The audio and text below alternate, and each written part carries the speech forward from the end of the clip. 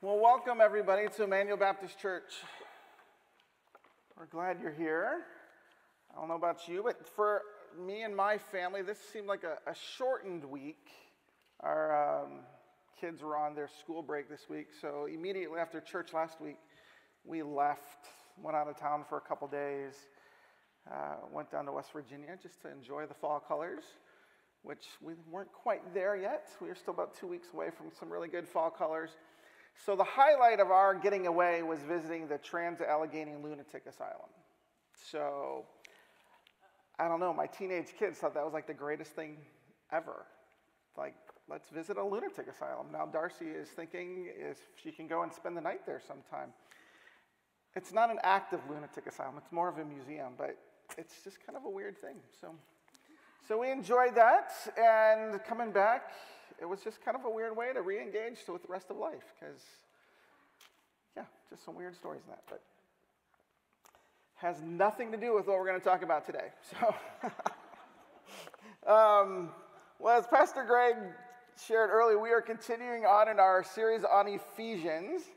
Um, and i don't know about you but I, have enjoyed this quite a bit um, and in some ways I wish that we were, were going to spend a, a lot more time in it because there's just so much in it.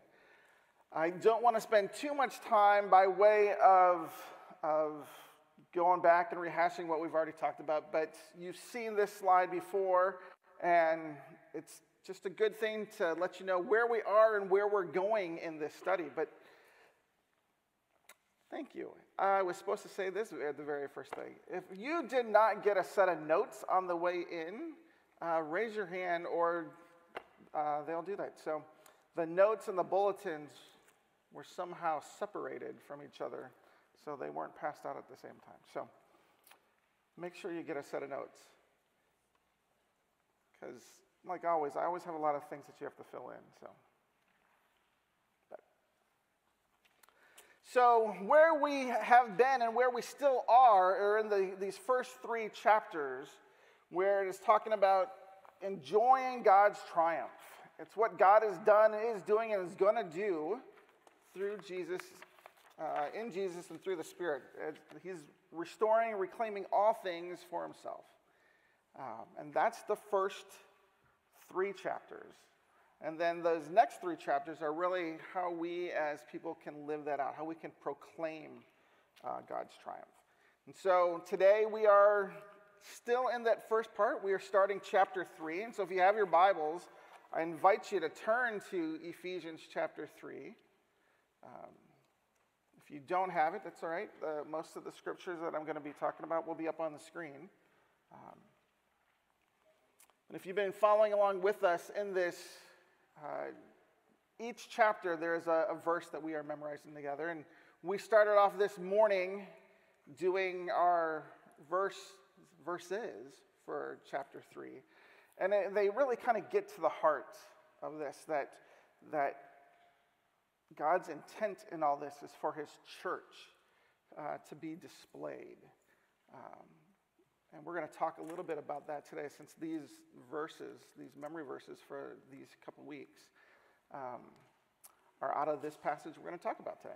So I won't have us redo them again together, but uh, I do encourage you uh, to at least make an effort to try to learn these verses. Um, you'd be surprised how, as you learn these things, God will bring them to mind uh, at sometimes just the right time um, to encourage you to help you kind of process this life that we're in. But so as we jump here into chapter 3, uh, I would say it's a good time for us to have a reminder that every word of Scripture is good and useful and important. As we studied a few months ago in 2 Timothy, uh, we talked about how all Scripture is breathed out by God and is useful for teaching, for rebuking, for correcting, for training in righteousness that all of Scripture is there so that we, as God's servants, uh, may be equipped for the good works that He's called us to. Um, So every word of Scripture is good and it's useful. And sometimes we need that reminder, and I think this passage is one of those where it's helpful to have that as a reminder uh, because sometimes reading Paul can feel maybe a little bit like this. I don't know if you can, how well you can see that, but I'm sure a lot of you are familiar with the Family Circus comic strip. Uh, and it's a pretty regular feature in there where it shows the paths of the kids that are going through. And in this one, uh, the oldest son, Billy, is getting off the school bus, which is represented up there in the upper left hand corner. And as he gets off the school bus, he's just doing a whole bunch of different things. He's climbing fences, playing with dogs, going down a slide, um, helping out with a neighbor working on his car, helping get things out of a, a neighbor's trunk, just a whole bunch of stuff. And then he finally shows up at the front door, and his mom says, Billy, I've been worried about you. Where have you been? And Billy just says, just walking home from the bus stop. You know? He made it to his end point, but he had hit a lot of extra things along the way. And like I said, sometimes it feels like reading Paul can be a little bit like this. Uh, Paul, in all of his letters and all of his writings, as he's led by the Holy Spirit, has a purpose for writing. There's something that he wants us to get out of this. Um, but if you read his stuff, his sentences are really, really long. And then he goes off on these little, they're not really tangents, they're, they're little sidebars. And each one is good and it's fitting. And each one has a whole bunch of richness of depth in it, or something that we need to learn, that God wants us to, to take to heart. But sometimes for us as a reader, it feels like he's just kind of wandering and meandering through this. And you're like, where's he going with this? Uh, and he eventually lands the plane and gets to the point. Uh, but sometimes we miss the good stuff along the way. Um, so, which is why in your notes that you have there, I, I call this, this little section, this passage, I digress. But not really.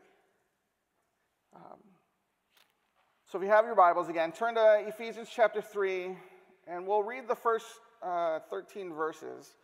Um, said, if you don't have your Bible, uh, or if you don't even have one, talk to me afterwards. We'll make sure we get you one. Uh, but if you don't, or if you have a different version from the ESV where it might be hard to follow along, uh, you can follow on the screen with us. Um, so, Ephesians 3, verses 1 through 13. Um, and if you wouldn't mind forwarding these as I go along, uh, that would be helpful.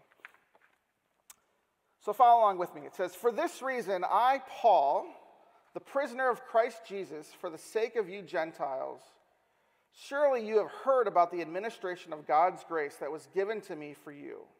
That is the mystery made known to me by revelation, as I have already written briefly.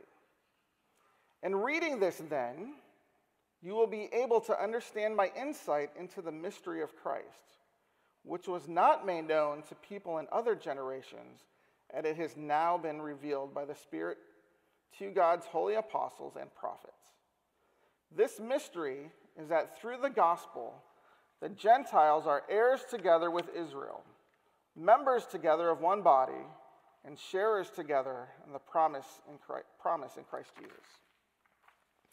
I became a servant of this gospel by the gift of God's grace given me through the working of his power. Although I am less than the least of all the Lord's people, this grace was given me to preach to the Gentiles the boundless riches of Christ, and to make plain to everyone the administration of this mystery, which for ages past was kept hidden in God, who created all things. His intent was that now, through the church, the manifold wisdom of God should be made known to the rulers and authorities in the heavenly realms, according to his eternal purpose that he accomplished in Christ Jesus our Lord. In him and through faith in him, we may approach God with freedom and confidence. I ask you, therefore, not to be discouraged because of my sufferings for you, which are your glory. Pray with me. Father, we come before you this morning thankful for your word. Thankful that your word has things to teach us, that it has ways to, to rebuke us, to encourage us, to train us up in the way that we should go. And so, God, I pray that this morning that, that we would recognize your presence here with us, uh, that we would allow you to teach us from your word. That each of us, whether we have uh, been students of your word for many, many years, or whether this is all brand new, uh, would have ears to hear uh, what you have to say. Father, as always, I pray that, that I, uh, just as the person up here, will not get in the way of what you have to say, but that you would uh, use my words to speak your truth, uh, and that all else would be forgotten, uh, but that all of us, including myself, would walk away from this changed and more like your Son. So thank you, Father, for this day uh, and for this time that we have together. So we pray this in Christ's name. Well, these 13 verses that we read are full of a lot of stuff. Uh, and there's really no way that we can unpack all of it in the short time that we have together this morning. Um, uh, but as I frequently do, as I uh, prepare for a sermon, um, I try and listen to sermons of other people, um, both just to kind of check to make sure, like, am I, am I getting the same things out of this as, as other people are? Am, am I headed in the right direction? Uh, um, sometimes uh, do that just, you know, maybe like you at times kind of get stuck and like, really, where, where, what, what is the point of this meandering thing? And kind of help bring me on task. But and like I said, we're not going to get through all everything in these 13 verses.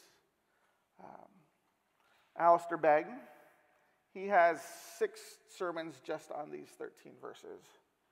Um, John Piper has about 12 sermons on these 13 verses. If you're familiar with Martyn Lloyd-Jones, uh, he had 99 sermons just on the first three chapters all along. So there's a lot in here that we could do. Um, so today, my goal in this is uh, to highlight really what is the, the heart of what Paul is getting to in this um, so that, that we can walk away from this clearly understanding what, what Scripture has to say, why it is in there, and how we can hopefully walk away from it uh, a little different, a little more like Jesus. So it doesn't make us as a church any less spiritual because we're, we're doing what some people do in six or 12 and doing it just in one. And really, it's a way for us to, to encourage one another that we all should be spending more time in God's Word, right? So, just as a side note, I know this was mentioned before, but I hope you are taking advantage of using uh, the Bible study journal that, that we put together uh, for this.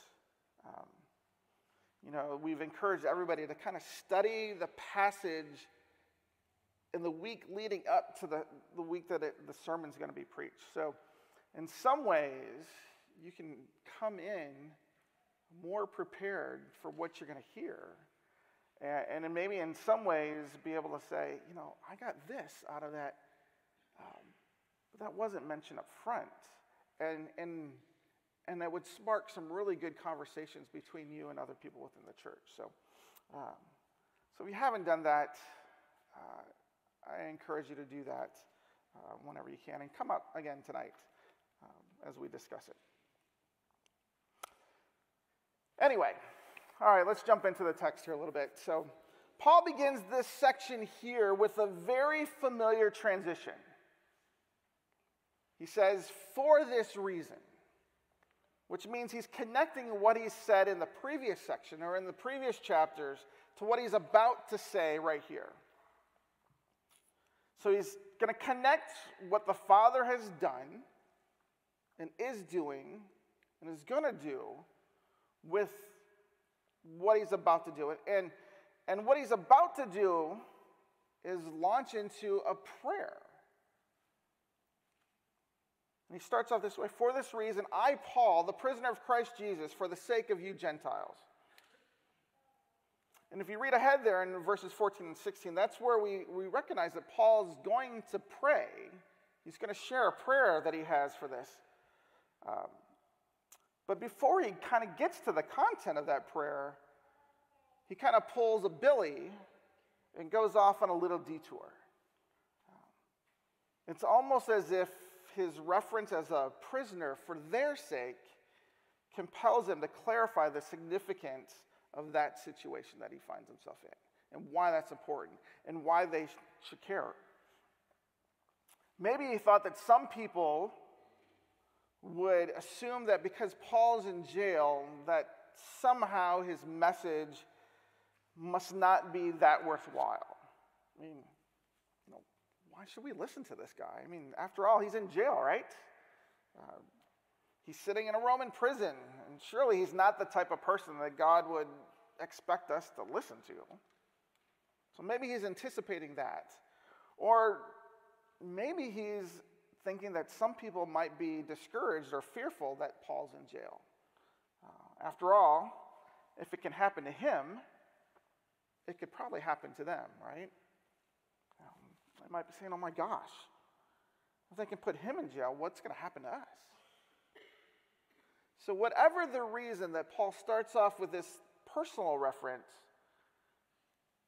he takes a short little pivot. He digresses a bit to talk about God's plan, which really isn't a digression. It's, it's a really good and meaty part of it. So, so he goes on to talk about this mystery, as he puts it, and his role in it. But although verses 2 through 13 are this brief detour prior to getting to his prayer, uh, they still have a lot of deep truths in it uh, that we need to understand. And so, with the time that we have left, I want to share four things about Paul's digression in this the what, the when, the who, and the why. So, as I said, and as you'll see, that these aren't really a digression, just a side door to the larger points of the entire letter here. Um, and so, just small disclaimer for those of you who, who like doing things a certain way. I'm going to pull these what, when, who, and why out of order from the way that it's written here in the passage. So uh, I hope that, that doesn't throw you too much. But, but let's start with the what.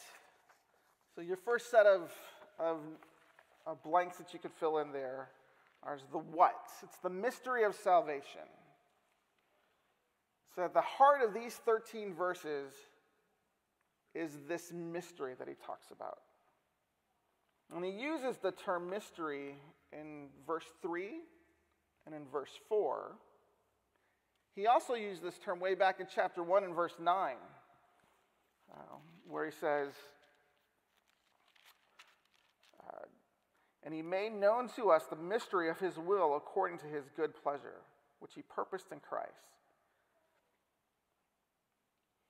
Now, I need to say this the term mystery does not refer to something that we're kind of used to hearing, or it's not the, the common way that we think about mystery when we often hear it. I don't know about you, but when I was a kid, uh, I used to love reading Encyclopedia Brown books. Or, and I had probably 40 Hardy Boy books. Um, as a teenager, I started reading a little bit more, so I, I liked Sherlock Holmes and Agatha Christie novels, and so I like a lot of the Agatha Christie movies that are out these days.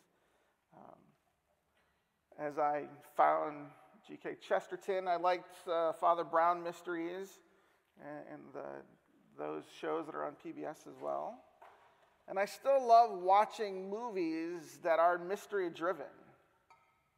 But that's not the type of mystery that Paul is talking about here. One where you have to search out evidence and, and deduce certain things to uncover information that you probably weren't intended to know. You know, when, when, when somebody murders somebody, they're hoping that you don't figure out their mystery, right? Well, that's not the type of mystery here. A mystery in Paul's vocabulary is a bit different and has a very specific meaning. In Paul's vocabulary, a mystery is a truth that was unknown or hidden in the past that becomes known as God reveals it to people, either directly or through time and history. So it's a truth that was unknown or hidden that is revealed, that God reveals. It's not something that is brought out by one's own ability to deduce or figure out, but it's something that God reveals. And here in verse 6, it's the first time that Paul really clearly defines what he's getting at when he uses this term mystery. So, what he's referring to are this, these three things. And again, here in verse 6, it says, The mystery is that through the gospel, the Gentiles are heirs together with Israel, members together of one body, and sharers together in the promise in Christ Jesus. He's unpacking a little bit here what he wrote about in chapter 1 and verse 10, and what he wrote about in chapter 2, verses 14 through 19. he's putting some flesh on this concept of what, what this mystery is. So it's that which was once only made available to God's chosen people, the Israelites, the Jews, that is now available to everyone, Jew and Gentile.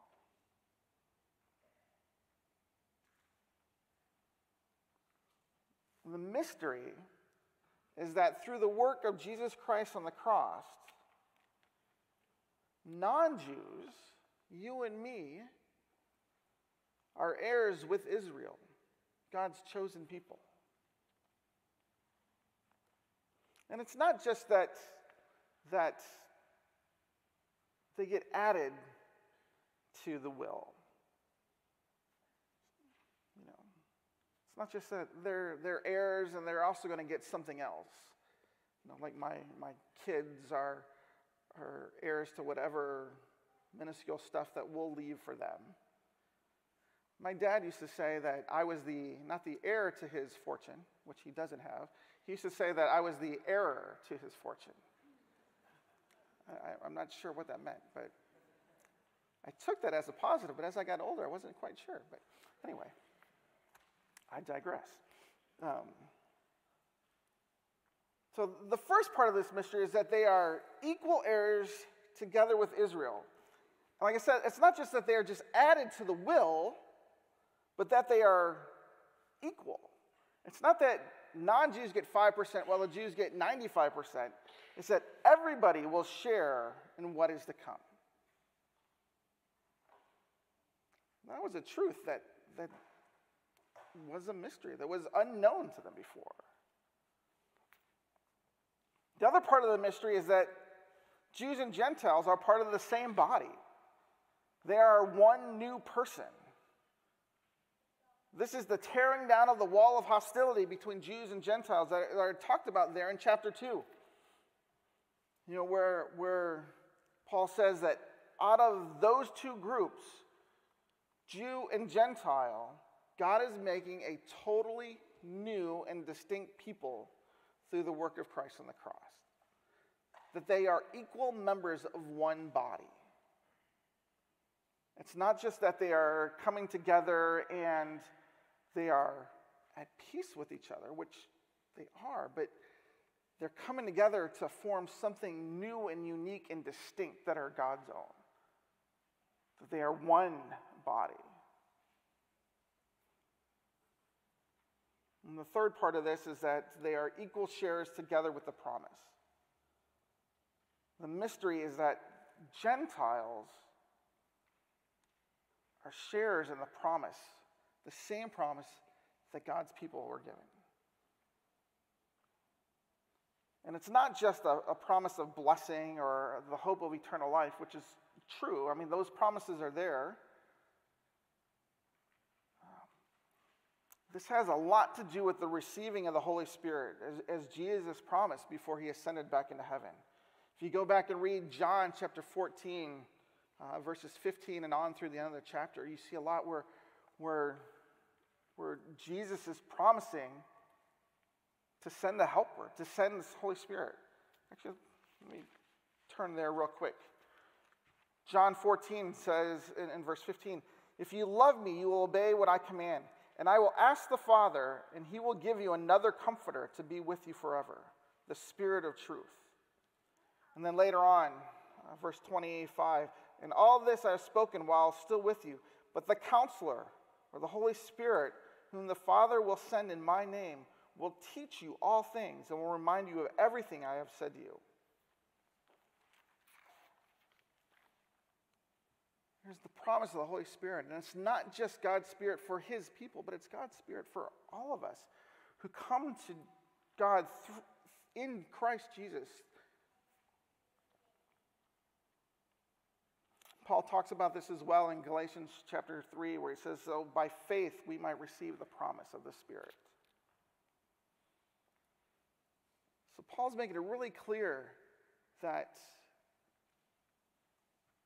this mystery that he's been talking about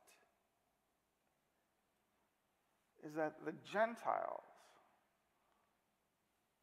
the people who weren't a part of God's promises, the people who weren't going to be heirs uh, of the things that Israel was promised, the people who were outsiders and foreigners are now all one. And that, that, that can happen because of Jesus.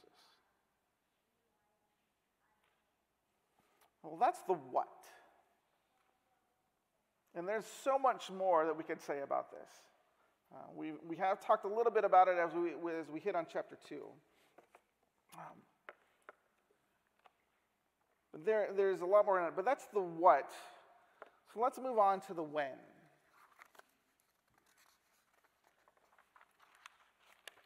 So, just as I said, in, in Paul's vocabulary, the mystery is that it's a truth that was unknown or hidden in the past that becomes known as God, as God reveals it to people, either directly or through time and history.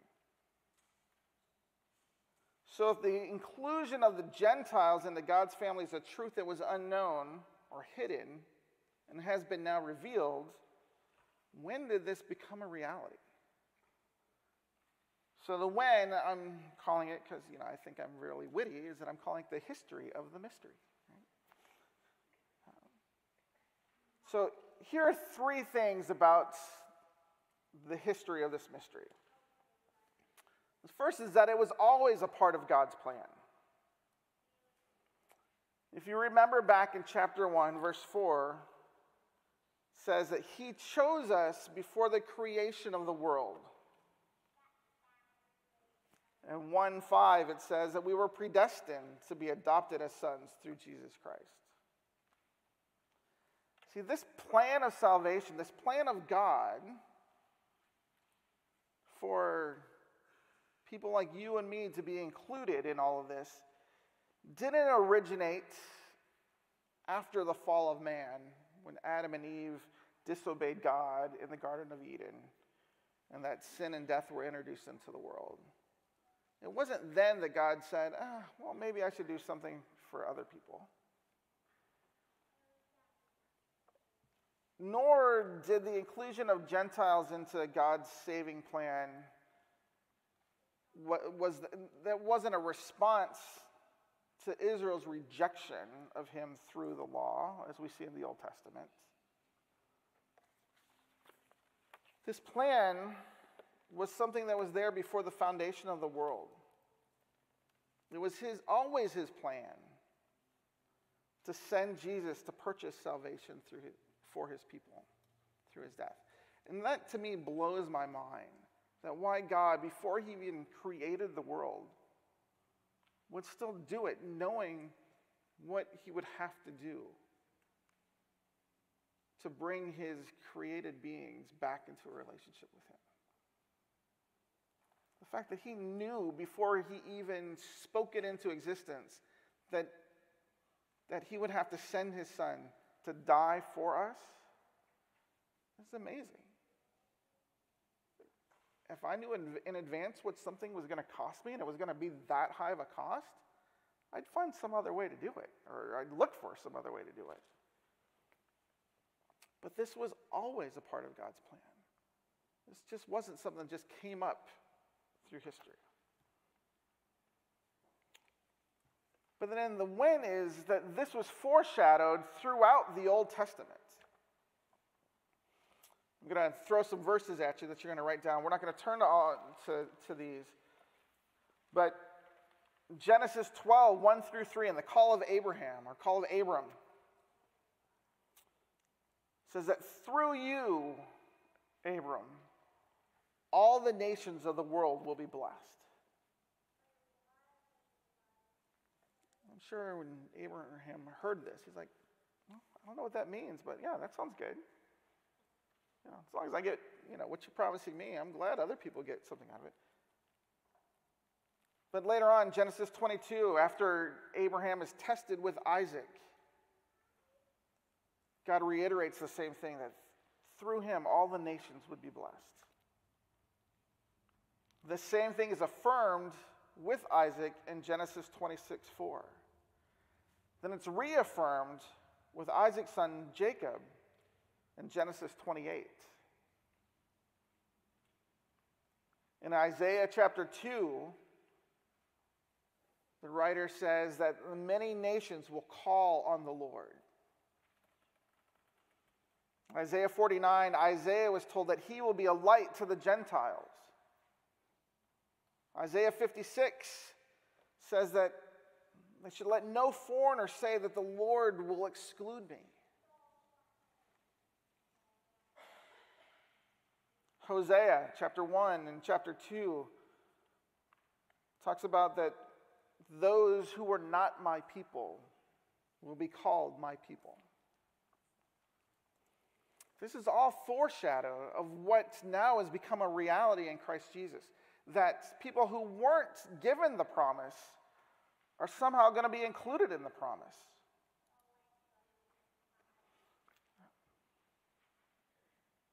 I have a little bit more to say on this uh, in, a, in a minute. But it was foreshadowed there in the Old Testament. It's now revealed in the Spirit.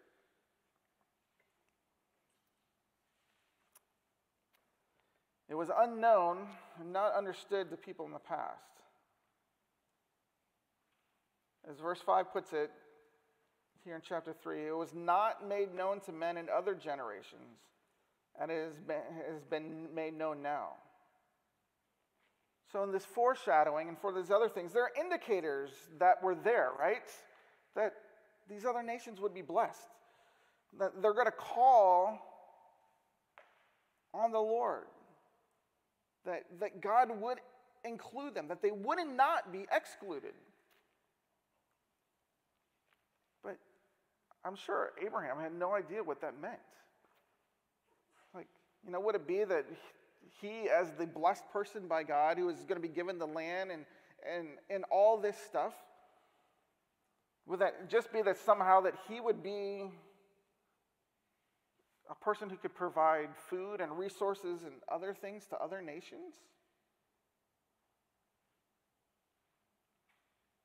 Know, kind of an example of how we as America have been so richly blessed that that we can be an economic blessing or an inspiration of freedom to, to other nations, right? Maybe that's all Abraham thought that, that God meant by that. Abraham didn't know. The Old Testament prophets didn't know what it meant that many nations would call on God. Maybe they thought that they would just call on God out of repentance or out of recogni- recognition that, you know, they were below his standard and that they weren't a part of his people, but they would still acknowledge him as the true God. They didn't really quite fully understand what that meant. But Paul says that now, at this time, at the right time, the Spirit revealed it to him. It was the right time because Jesus had come and he had died as a sacrifice for the sin of mankind. So, the history of the, this mystery is that it was always a part of God's plan, that it was hinted at in the Old Testament, but it has now been revealed by the Spirit because of what Jesus has done. There's a little bonus that you could add in there. It's not a spot for it in your notes, but Jesus also hinted at this pretty clearly in his ministry and in his parables. And at one point, Jesus said that you know, he initially came for the lost sheep of Israel. Uh, but you'd see that throughout his, his, his ministry, and especially as it was winding down, heading toward the cross, uh, he turned a lot of his attention to Gentiles. Matthew 21 through 28, there's so many references to his engagement with, with the other peoples around him and, and talking about the rest of the world. His interactions with the Roman centurion, uh, whose servant was healed, with a demon possessed man, with woman at the well, with a Canaanite woman. Just some of the examples of how he was there to not just serve his own people, but to serve the other nations as well. Jesus said that his house would be a house of prayer for all nations. And if you read his parables, Matthew 21 and Matthew 22, there are two pretty clear parables that are talking about how Gentiles would be included in God's kingdom. This mystery was always a part of the plan.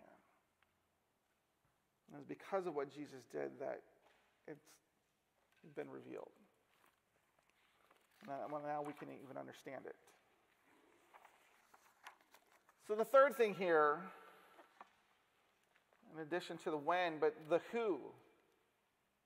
Who are the participants in this mystery? So, we have a couple spaces just for some of them. First one is the Godhead. Obviously, God has something to do with this. And all three persons of the Trinity are present are represented in his plan of salvation. It was the Father's plan from the beginning. It's his wisdom, his plan, his gift of grace to Paul that we read about, his calling of him to be a servant and to proclaim the good news. It is the work of Jesus Christ on the cross. And we are sharers in the promise of him. We are sharers in the promise of the Holy Spirit. It's revealed by the Holy Spirit. It's the Holy Spirit who gives us wisdom and understanding. We're allowed to take it. This isn't just something that was done by Jesus, but it's the plan of God accomplished by Jesus and then made known and revealed through the Holy Spirit. There's a very Trinitarian. We serve one God who works as three persons.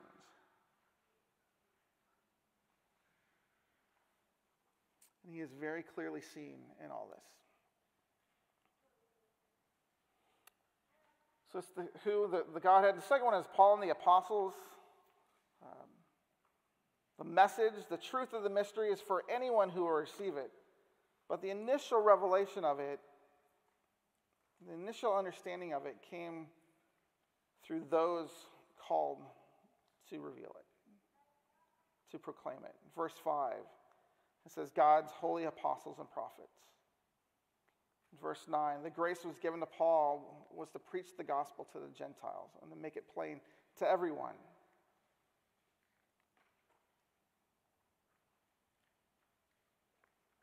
You think about the, the, the apostles and the prophets and what they did in helping to get this mystery out into the rest of the world. You know, tradition tells us that Andrew, the disciple, took, gospel, took the gospel to eastern Turkey and to Georgia and to Ukraine. That Mark, the author of the Gospel of Mark, took the gospel to Egypt. That Thomas, again, tradition tells us that Thomas took the gospel to India. That, that Paul as an apostle and his and the other prophets, the other apostles, were the ones who God initially gave this message to, this understanding to, this revelation to, so that they could take it out and make it known to everyone. And it's because of what they have done that you and I are here and that we have it and can pass the torch on to other people. And then the third player in this, third participant, participant in this is the church. See that in verse 10. It says, now. His intent was that now, through the church. And I like the, the I like to emphasize the now in this um, because it kind of goes back to verse 5. Um, which was made known to men in other, which was not made known to men in other generations, as it has now been revealed by the Holy Spirit. But the church, this is who we are. This is the one new person that God has created for himself out of the Jew and Gentile. The one new person is the church. The church is the ultimate expression of the wisdom of God. It is the community where God makes his wisdom apparent. The church is at the center of God's unfolding purpose in history. The church is the visual aid of God's purposes.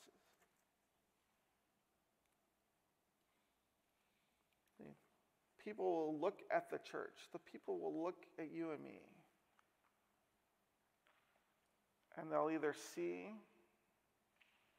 what God is doing, or if we are not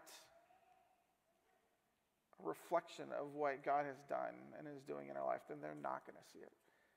But the church, the reason we are here, the reason we are called to unity, the reason we are connected in oneness to God and to each other, is to be expression, to be the expression, to be the example of God's wisdom to the rest of the world. A little bonus in this one as well is that this passage it talks about the rulers and authorities in heavenly realms. And I wish we had more time to actually talk about this. Um, but Paul doesn't say how the church influences cosmic powers. Uh, but he does say that his intent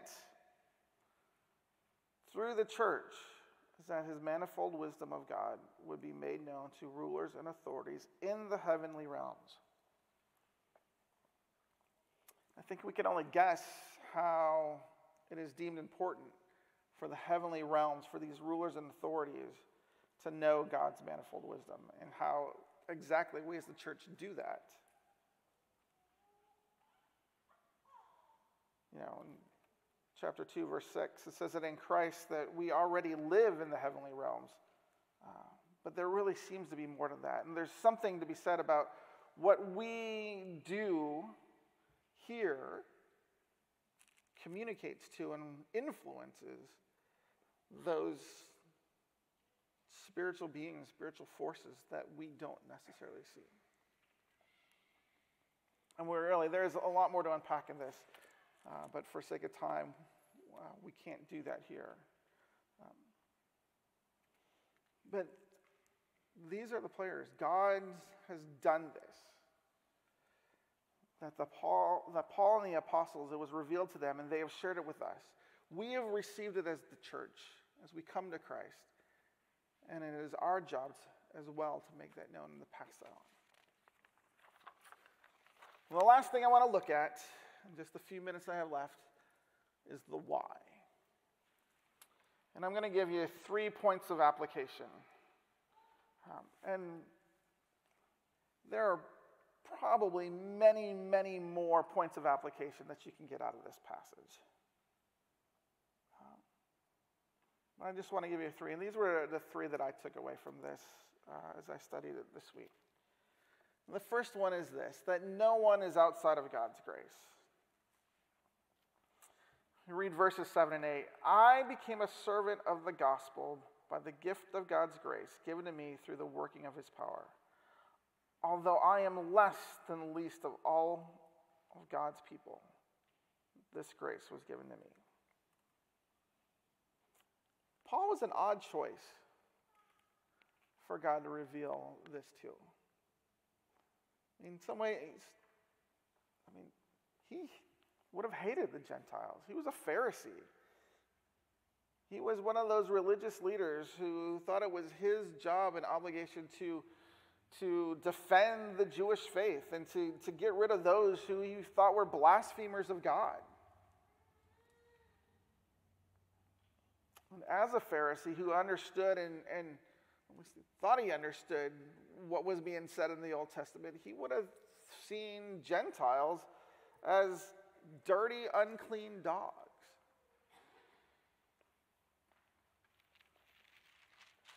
You can read his testimony a little bit in Acts chapter 22. Verse 4, he says, I persecuted the followers of this way to their death, arresting both men and women and throwing them in prison, as also the high priest and all the council can testify. I even obtained letters from them to their brothers in Damascus and went there to bring these people as prisoners to Jerusalem to be punished.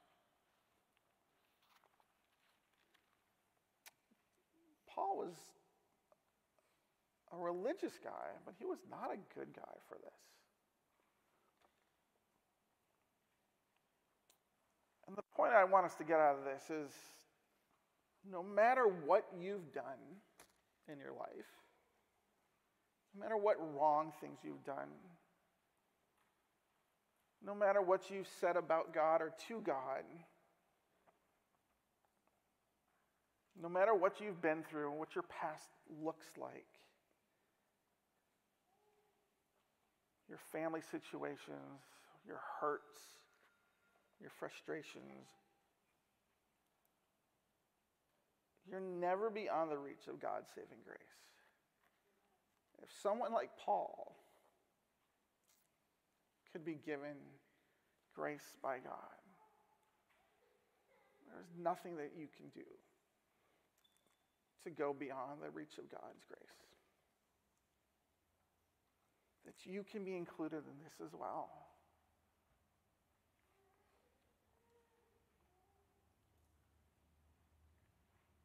Another application point is that division has no place in the church. The reality that God has brought everyone under the same umbrella should completely change the way that we relate to one another. Racism or divisions of any part are completely contrary to everything that God has designed. If He has torn down the dividing wall of race between His chosen people and all other people, then why would we think that it's okay to put them back up in some way or shape or form? There is really only one race among believers. There's one person now in Christ.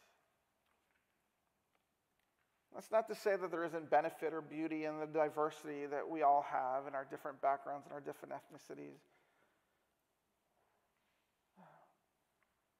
But the fact that we all come together as one in Him means that there should be no reason, no excuse ever for us to to turn away from or to shun or to speak ill against somebody else just because of their different background, their different race, their different ethnicity. God doesn't see it that way. Neither should we. And the, the last why, the last application point is to don't be discouraged in suffering. Jesus is worth it. Paul was in jail. That's how he identified himself at the very beginning. But if you look back at his response in verse 13, he says, Don't be discouraged because of my sufferings for you. They are for your glory. Paul's sufferings were to be for the glory of other people. Because of his sufferings, that he was able to communicate the gospel to them, and they were able to come into this relationship with them. And when you know who has called you, when you know what you are called to, there is no need to be discouraged when you find yourself in a situation that looks hopeless or helpless or without an answer.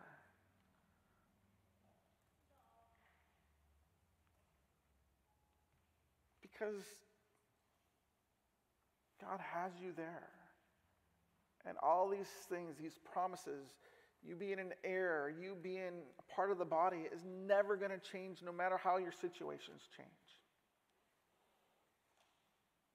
And maybe your suffering is for the benefit and the glory of other people.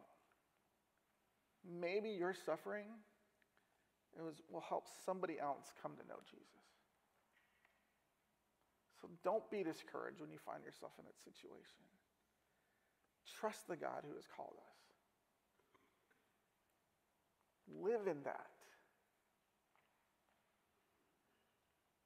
And encourage other people with it. I should close with that, but I'm just going to throw in one last little bonus that you don't have space for in your notes as well. But the, bonus is that it says here in verse 12 that we can approach God with freedom and confidence. If we are His, if He has called us and saved us and adopted us and made us His very own, we did nothing to earn it, right? It was all on Him. And if all those things are true, and they are, there's nothing that we can do that can increase his love for us. So why should it ever hinder us from going to him? If he's the one who picked us out of it, that means he wants us, right? We talked about this later in chapter 1 that we are his inheritance. Because of that, then we can go to him in freedom and confidence. He will hear us. He will care for us. He will comfort us in it. He may not take us out of it. He can take Paul out of it. But we can go to him and trust him with it. So I pray that as we take time in God's word, and even as we try and kind of navigate through Paul's meanderings here uh, in this, that we would take some of these truths and apply them to our lives. And if you're somebody today who's never put your hope in your faith and trust in Christ, you don't know what we're talking about in this, or if you felt that you are outside of God's grace, come find me. Talk to me after the service. Talk to Pastor Greg or Van or Will or somebody else in this church. There's a lot of people in this church who can help you understand how God's grace applies to you, how we can share it with other people. Father, thank you for your word this morning. Oh, there's so much in here. There's, there's plenty of things that we didn't even touch upon. But God, your word is true and it is for us. And so, God, help us to live in these truths so that we can reflect you to one another and to a world who needs you. We thank you and we praise you in Jesus' name. So as we get ready to leave, I want to encourage you all come back out tonight. Uh, come share with one another things that you've been learning from this. Uh, there's, I so much enjoy getting to hear from other people what they're getting out of these passages. So come, we'll spend an hour, we'll talk a little bit together, we'll share, we'll pray together. Um, so. And if you don't come tonight, share with somebody else. Share what God is doing in your heart and what you're learning from this. All right, thanks for coming. You're dismissed. See you soon.